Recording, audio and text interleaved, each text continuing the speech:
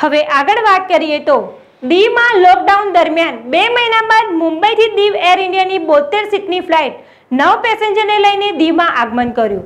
બે દિવસની ટેકનિકલ ખામી બાદ આજથી વિમાન સેવા શરૂ થઈ ગઈ.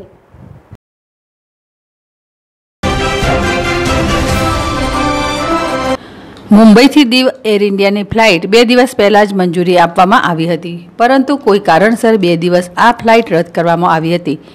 જ્યારે આજરોજ એર ઇન્ડિયાની ફ્લાઇટ નંબર વીટીઆર બોતેર છસોનો સમય બપોરે અગિયાર પિસ્તાલીસ દીવના નાગવા એરપોર્ટ પર આવી પહોંચી હતી.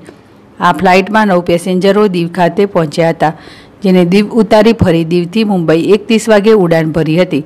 દીવથી મુંબઈ જવા માટે એક પણ પેસેન્જર ન હોવાથી આ ફ્લાઇટ ખાલી મુંબઈ માટે રવાના થયું હતું. દીવ એરપોર્ટ ઓથોરિટીએ ભારત સરકાર દ્વારા દીવના નાગવા એરપોર્ટ પર પેસેન્જરોને આવકારવા અને કોરોના વાયરસને લઈ તકેદારીના ભાગરૂપે સોશિયલ ડિસ્ટન્સ રાખવું, સેનિટાઇઝરથી હાથ સફાઈ કરવા, હેલ્થ સ્કેનિંગ કરવા માટે દીવ સ્વાસ્થ્ય વિભાગની ટીમ પણ કાર્યરત કરવામાં આવી છે.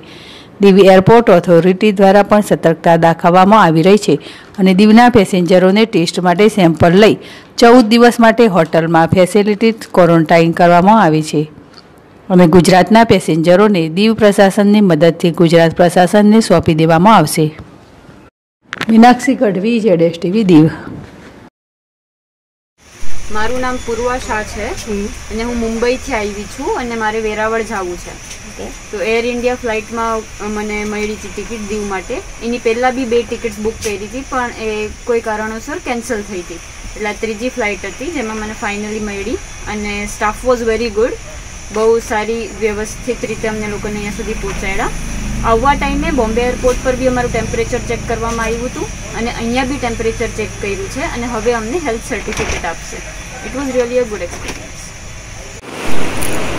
Diu airport पर आज लॉकडाउन के बाद पहली बार फ्लाइट ऑपरेट हुई है हालांकि इसे 25 तारीख से ही भारत सरकार की अनुमति के बाद शुरू करना था परंतु दो दिन कैंसिल किसी प्रचारण कारणों के द्वारा हुई है आज इसका अराइवल दस बज के ग्यारह बज के पचास मिनट पर हुआ है, जिसमें दस पैसेंजर्स आए थे।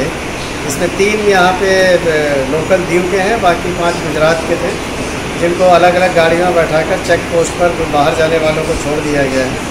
और जो दीव के पैसेंजर्स थे, उनको क्वारंटाइन के लिए डिस्ट्रिक्ट एडमिनिस्ट्रेशन के द्वारा ले जाया गया है फैसिलिटी क्वारंटाइन किया जाएगा उनका यहाँ पर हमने सोशल डिस्टेंसिंग और पूरा हाइजीन का पूरा ख्याल रखा हुआ है।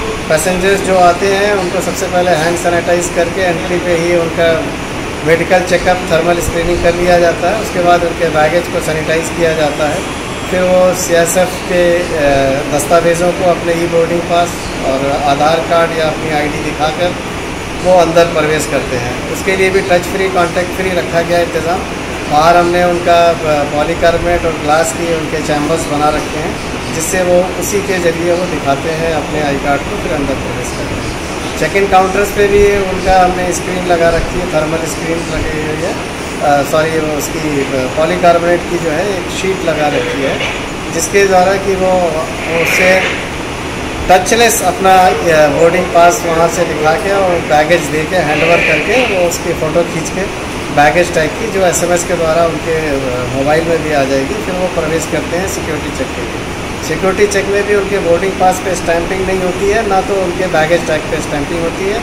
हमने एक फ्रेम लगा रखा, वहाँ पे वो अपना मोबाइल का प्लेस करते हैं उस जो कैमरा कैप्चर कर लेता है उनकी डिटेल्स उसके बाद वो बोर्डिंग के लिए आगे प्रवेश करते हैं और सिक्वेंसली करते हैं, अपना सोशल डिस्टेंसिंग मेंटेन करते हैं। चेयर्स पे भी हमने मार्क कर रखा है कि एक सीट छोड़कर एक जगह बैठे।